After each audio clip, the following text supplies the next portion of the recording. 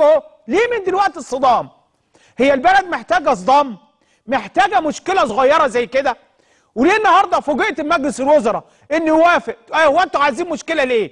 ايا كان عدد الأعضاء. طب ما هو البرلمان ده بعد أسبوعين هينعقد.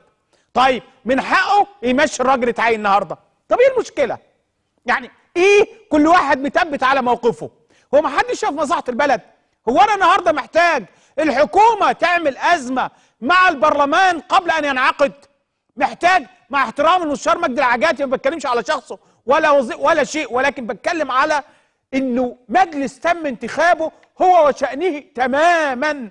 المسؤولية خاصة برئي- بالوزير المسؤول عن هذا الأمر أمور إدارية.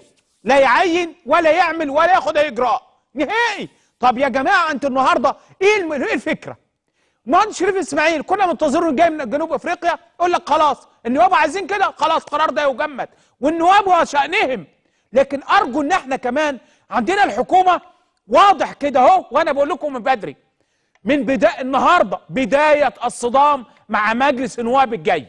حتى لو عشرة حتى لو خمسين لو مية من مجلس النواب في صدام. ليه في صدام؟ لا يحق للحكومة تحت أي ظرف. مين اللي بيراقب الدنيا دي كلها؟ هو اللي مجلس النواب المنتخب مش الحكومة على فكرة.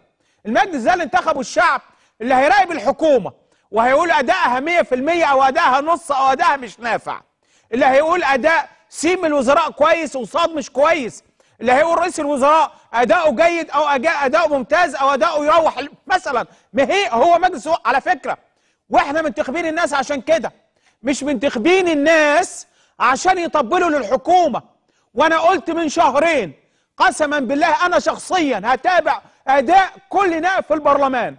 واللي هلاقيه ما بيشتغل للشعب ويراقب اولا ربنا ومصلحة الشعب لايا كان عنده حصانة ولا ما عندوش حصانة مش يفرق معايا. هطلع وأقول وكل شيء.